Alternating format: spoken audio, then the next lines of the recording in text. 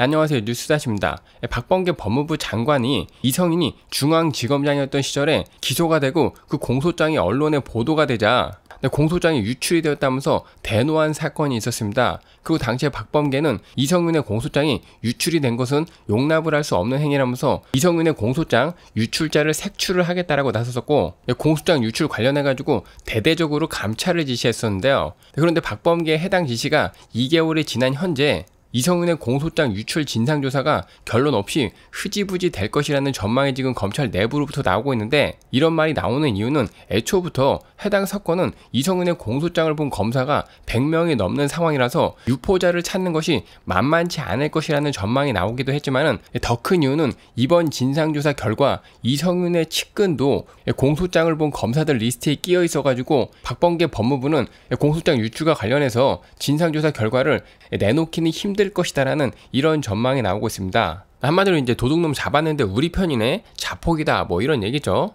아무튼 뭐 관련 소식을 보면은 박범계는 김학의 불법 출금 수사 무마 혐의로 기소된 이성윤의 공소장이 지난 5월 13일 언론에 보도가 되니까 다음날 이를 유출한 사람을 색출하라고 지시했었고 이에 대검은 감찰 1과하고 3과 정보통신과 3개 부서를 투입을 해가지고 대대적으로 진상조사에 착수했습니다. 네, 그리고 당시에 수원지검이 이성인을 기소한 다음날 기준으로 이 공소장을 본 검사가 100명이 넘는 상황이었고 이에 대해서 박범계 지시에 따라 가지고 대검 측에서 공소장을 열람한 이 검사들을 전부 다 조사해 보니 유출 의심 검사가 10명에서 20명으로 압축이 되었다라고 하는데요. 그런데 재미있는 부분은 박범계 법무부가 가장 많이 의심을 했던 것이 김학의 불법 출금 사건을 수사했던 수원지검 검사들이었는데 오히려 수원지검의 검사들 같은 경우에는 아예 접속 기록 자체가 없어가지고 이 사람들은 공소장을 유출했다라고 아예 볼 수도 없는 상황이었으며 박범계 법무부의 의도와는 다르게 엉뚱한 사람들만 유출 의심 검사 리스트에 오른 상황인데요. 그리고 이후에 접속 기록에 있는 검사들의 휴대전화 통화 및 메시지 사용 기록을 보려고 임의 제출 형식으로 휴대전화를 받으려고 했으나 일부 검사들은 이를 거부했다라고 합니다. 그리고 이뿐만이 아니라 언론의 취재에 의하면 당시에 공소장을 열람한 이들 중에서는 이성윤 서울중앙지검장 때 이성윤의 핵심 참모였던 A 검사가 끼어 있었고 그는 지난 6월 달에 이번 정권에서 영전을 해가지고 검사장으로 승진을 했다고 하는데요. 이에 대해서 검찰 관계자는 A 검사장은 김학의 불법 출금 수사 무마 사건과는 전혀 관련이 없는 사람이라고 했고 다른 검찰 관계자 역시도 당초에 박범계 장관의 의도와는 달리 유출자를 특정하기가 어려운 상황이고 게다가 열람자 중에 예상 밖의 인물이 튀어나와가지고 지금 조사 결과를 발표를 제대로 못하고 있는 것 같다라고 이야기했습니다. 그런데 사실 뭐 이와 같은 결과가 나온 것이 너무나 당연하고 뻥계의 지시가 얼마나 무리한 지시였는지 보여주는 단적인 그런 모습인데 아니 검사들 입장에서는 이성윤 중앙지검장이 기소가 되었을 때 여기에 대해서 궁금한 것은 너무나 당연한 것이고 안 그래도 이성윤 같은 경우에는 검찰 조직은 물론이고 국민적으로도 입에 오르내리는 사람인데 검찰 조직에서 실세 중에 실세이고 대통령의 최측근 중에 한 명으로 평가를 받는 이성윤 지검장이 기소까지 당할 정도면은 이 사람이 도대체 무슨 짓을 했나 궁금할 수밖에 없는 것이고 검사들 입장에서는 당연히 이 사람의 공소장을 볼 수밖에 없는 상황입니다. 그러니까 당연히 하루 만에 100명이 넘는 검사들이 접속을 해가지고 이 공소장을 본 것이고 박범계 입장에서는 수사팀에서 공소장을 유출했다라고 해가지고 의심을 가지고 지금 이 사건을 털었지만은 오히려 이 사건을 수사한 수사팀 같은 경우에는 본인들이 수사했으니까 별로 관심이 없어가지고 접속조차 하지 않은 것으로 지금 드러났는데요. 아무튼 뭐 이 사건 같은 경우에는 검사들이 본인들이 많이 관심을 가지고 있는 사건에 대해서 이 사건이 어떤 사건인가 좀 파악을 하기 위해 공소장을 보는 것마저도 박범계는 지금 범죄 행위라고 예단을 해가지고 이런 지시를 내렸다라는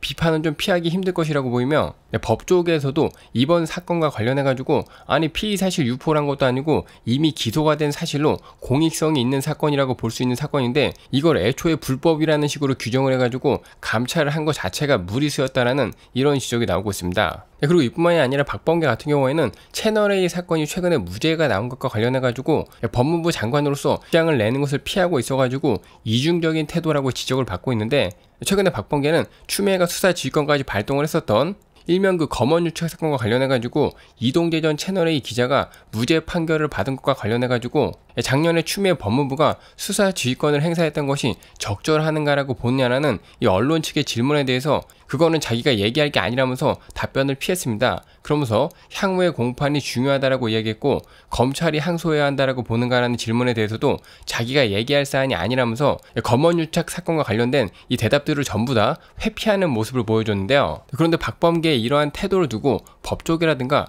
정치권에서는 부적절하다라고 지금 지적을 하고 있는데 우선은 법조계에서는 박범계가 현재 검언유착 사건 관련해가지고 추미애가 발동했었던 수사지휘권 배제 상태를 아직까지도 유지를 시키고 있고 앞으로도 유지할 것이라고 이야기하고 있는 만큼 박범계가 여기에서 책임이 없다라고 지금 이야기할 수가 없는 상황인데 여기에 대해서 입장 밝히는 것을 회피하는 것은 적절하지 않다라고 지적을 했으며 또 과거에 박범계가 법무부 장관이 아니고 여당 의원이었던 시절에 추미애가 검언유착 사건 관련해 가지고 수사 지휘권을 발동했을 때 적극적으로 맞장구를 쳤던 사람입니다. 당시에 박범계 같은 경우에는 추미애 수사 지휘권 발동에 대해서 보편적인 상식에 입각한 국민들은 이 정도면은 검찰하고 친권 매체 간의 유착이 있다는 강력한 증거라고 생각을 한다라고 이야기했으며 이에 대해서 추미애는 상당히 실망스럽고 유착 이상이 아닐까라는 생각을 국민들이 할 것 같다라고 이야기했는데요. 아무튼 이렇게 박범계 같은 경우에는 본인이 정치인일 때도 그렇고 지금 법무부 장관직을 유지하면서도 그렇고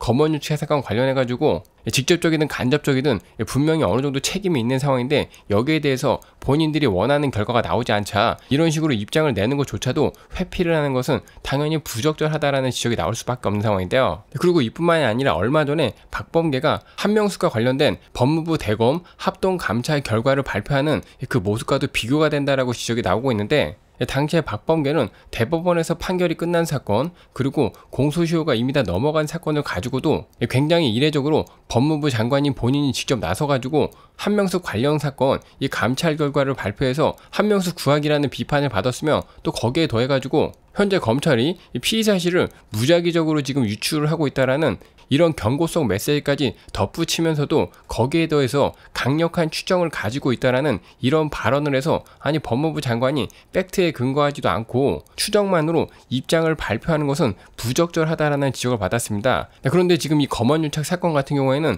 이미 법원에서 무죄로 판결이 난 사건이고 이 사건하고 관련돼서 이거는 지금 검언 유착으로 볼 수 없다라는 증거가 차고 넘치고 있는 상황이며 추미애의 수사지휘권 발동이 잘못되었다라고 볼 수 있는 근거가 하나 둘이 아닌 상황인데 여기에 대해서는 입장을 회피하고 있는 것은 법무부 장관이 자신의 추정으로는 공식적인 입장 발표를 할 수가 있지만은 이미 팩트가 다 나와 있는 상황에 대해서는 입장 발표를 하는 것이 부적절하다라고 이야기하고 있는 앞뒤가 지금 전혀 맞지가 않는 상황인데요. 아무튼 뭐 이번 정권이 이중적인 태도를 취한 것은 하루 이틀이 아니지만은 정말로 언제까지 이런 좌충우돌이 계속될지 우려스럽다는 생각이 들고 박범계는 본인이 지시한 이성은의 공소장 유출 사건 감찰 지시의 정당성을 인정을 받고 싶다면은 이 유출자 관련해서도 직접 나와가지고 누가 이 공소장을 유출을 했는지 관련해서 브리핑을 해야 할 것입니다. 이번 소식은 여기까지 하겠고요. 여러분의 의견은 어떠신가요?